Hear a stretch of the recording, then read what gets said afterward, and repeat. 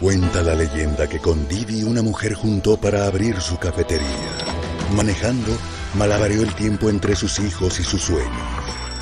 Ella es Ana, una leyenda al volante. Y hoy es dueña de su cafetería.